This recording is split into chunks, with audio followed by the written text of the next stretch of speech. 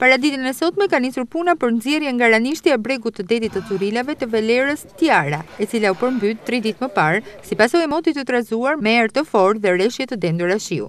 Mjeti lundrues vinte nga Mali i Zi dhe kishte si destinacion Turqinë. Pasi ngeci në cektinë, ai qëndroi në det dhe arriti të dilte në breg, si pasojë e shtyrjes nga dallgët pas më shumë se njëzet e katër orësh. Duke qenë se ishte vështirë tërheqja nga uji, veliera nuk u spostua.